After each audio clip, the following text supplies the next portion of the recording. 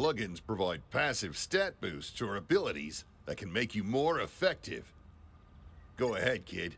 Unlock one now with a power token and equip it.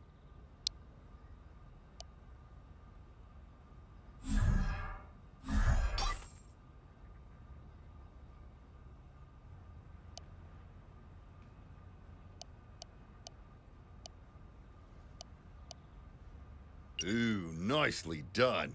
Okay, one more thing. Let's check out the weapons menu. This